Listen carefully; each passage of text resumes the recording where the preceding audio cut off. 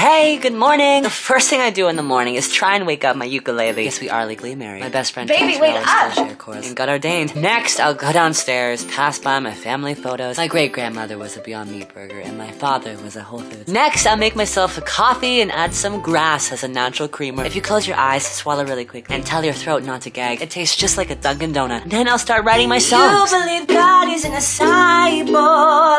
Babe, tell me if I'm hurting you, okay? Then I'll head over to my nephew Toby's seventh birthday party. The theme is Paw Patrol, so I made him a cake shaped like the lead Dalmatian. Okay, fine, it's just a normal cake. Fine, it's just a slab of tofu. That's weird. I guess they're not here. Toby? Nope, I'm a treat. Lastly, I'll head home and ask my husband what he wants to eat for dinner. Tonight we ordered Burger King as a form of retaliation. I am eating this burger only because I want to get rid of the burgers. Babe, did they forget the bacon on yours too?